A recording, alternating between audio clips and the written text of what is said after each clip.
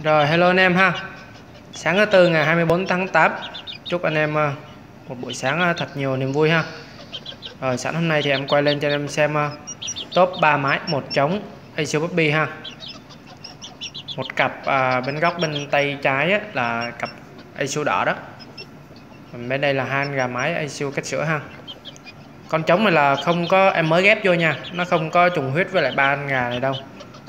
Anh em về anh em cạnh độ ok cản độ một máu cũng được mà anh em cản độ uh, kiếm con trống pha chút máu mỹ hay là máy pha chút máu mỹ vô cũng ok lắm. Mấy con này thì nguồn gốc của em test cửa qua ngon lắm khá ok lắm rồi. Đá lưng nó cần cổ không à? Anh em có thêm số bên zalo em có rất là nhiều cái clip uh, test luôn á test cửa luôn á. Đá tốc độ nha đá tốc độ lắm đá lưng vài bò lớn rồi cũng không quảng cáo gì nhiều nữa. Thì em nói bốn con này thì em để giá là hai triệu rưỡi ha. Giá trên bao phí ship cho anh, anh em luôn nha.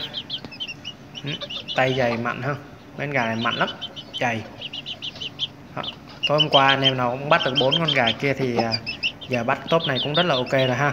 Rồi chào anh em nha ai comment thì alo em.